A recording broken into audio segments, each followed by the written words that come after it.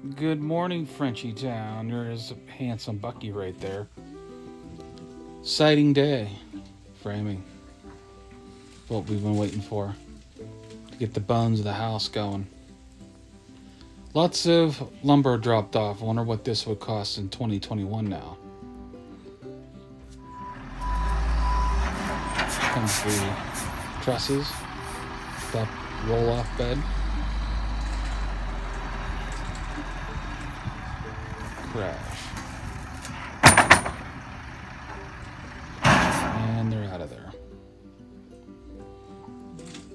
My customer number 9939.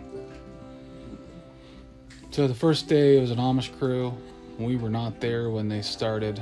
We got some pictures of the first part of the house being built, which was like the first floor, subfloor. And they built out from the step down walkout basement.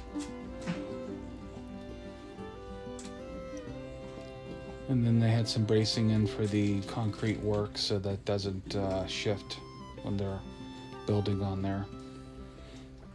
There's the post talking about with the holding the sill plate down to the house.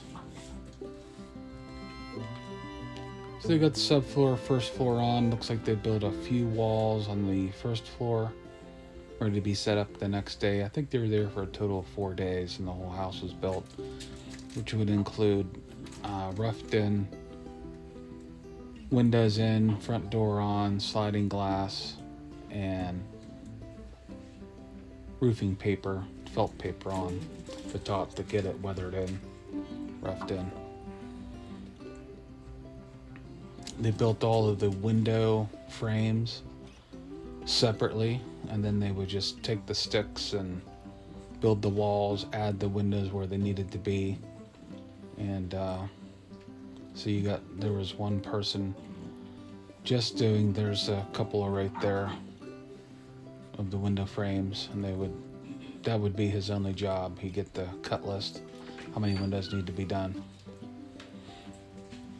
And this is what it looks like from the back side. And got my uh, family taking a look at it, inspecting it, and making sure they're doing everything right, which they did, and they did fine.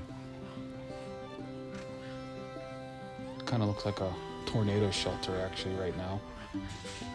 Um, so we got a little bit of footage of the first part of the day done, and uh, we'll see in the next one, and uh, we'll get the exciting parts ready to go.